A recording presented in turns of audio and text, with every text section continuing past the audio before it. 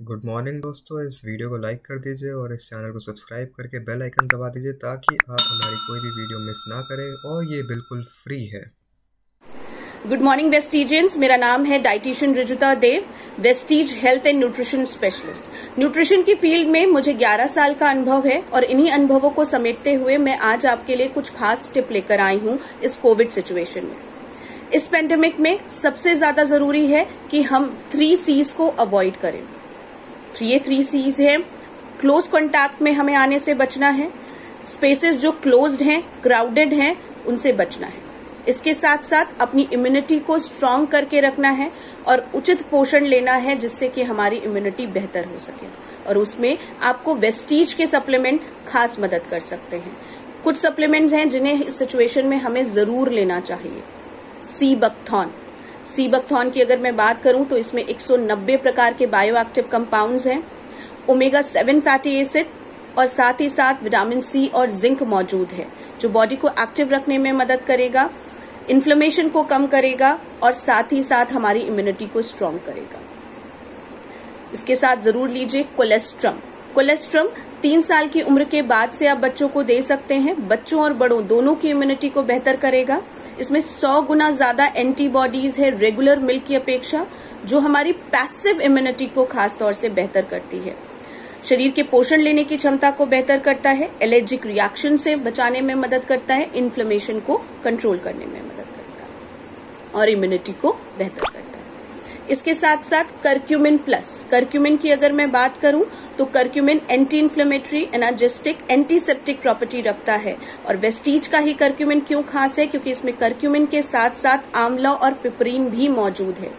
आंवला, जो कि विटामिन सी रिच प्रोडक्ट है, और इस समय लेने के लिए बोला जा रहा है। और साथ ही साथ इसमें पेपरीन मौजूद है, जो इन दोनों की बायो अवेबिलिटी को बेहतर कर देती है।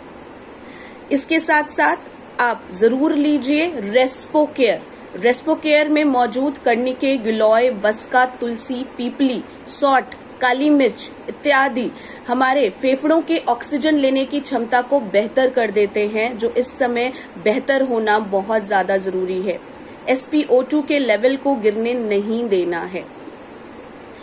इसके साथ साथ ये सारे इंग्रेडिएंट वही हैं जो मिनिस्ट्री ऑफ़ आयुष हमें लेने के लिए कह रही है। इसके साथ एक और सप्लीमेंट जिसे ज़रूर से शामिल करिए, वो है क्रिल ऑयल जो इन्फ्लेमेशन को कम करता है। Omega three omega six fatty acid है फॉस्फोलिपिड के साथ, जो उनका बेहतर अवशोषण कराते हैं और साथ ही साथ क्लॉटिंग को बनने से रोकते हैं, उन्हें घुलने में मदद करते हैं।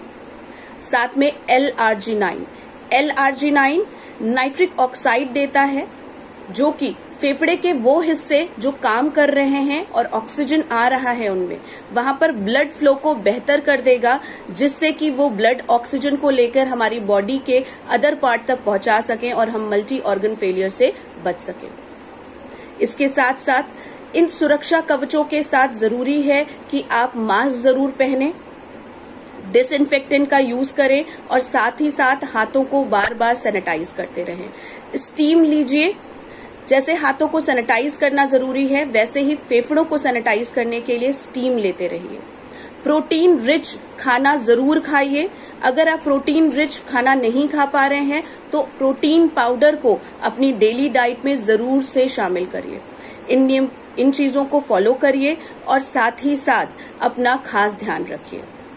होपफुली आप इन टिप्स को ज़रूर से फॉलो करेंगे और दूसरों तक भी पहुंचाएँगे। So thank you so much. Wish you well.